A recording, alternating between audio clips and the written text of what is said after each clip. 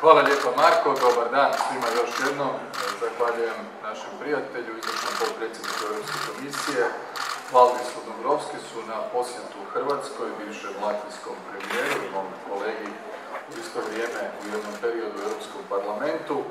Današnja tema e, dominantna bile su pripreme Hrvatske za ulazak u europodručje, kao što je hrvatskoj javnosti poznato.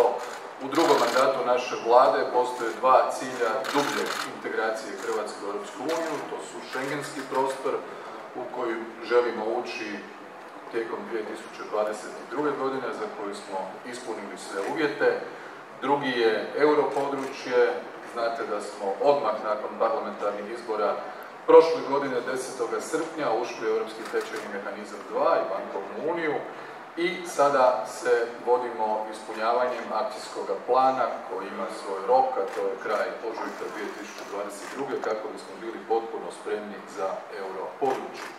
U tom procesu imamo vrlo snažnu, čvrstu, jasnu podršku potpredsjednika Dombrovskisa, cijele Europske komisije, podršku Europske središnje banke, podršku Eurogrupe koji je vrlo jasno e, kazao u četvrtak irski ministar financija Pascal Donahue koji je također bio ovdje i čiji je posjet bio vrlo koristan. Za hrvatsku javnost potrebno je ponoviti da Hrvatska više od 60% svoga izvoza orijentira prema članicama Europske unije, da je više od 60% turista koji dolaze u Hrvatsku iz članica eurozone, da je dvije trećine štednje u Hrvatskoj u eurima, da je pola zajmova kredita u eurima, da smo praktički već sada visoko eurizirana ekonomija.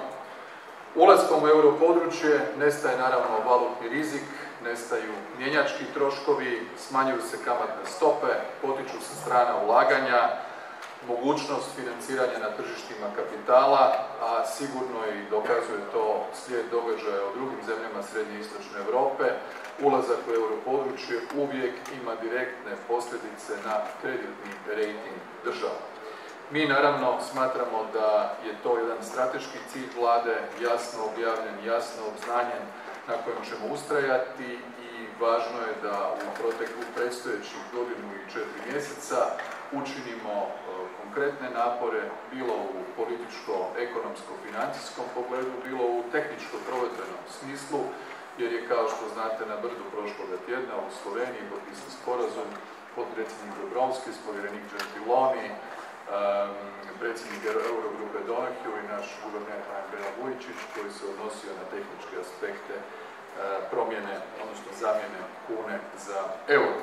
Na tom tragu e, veselim se daljnjoj suradnji sa Europskom komisijom na ovu temu.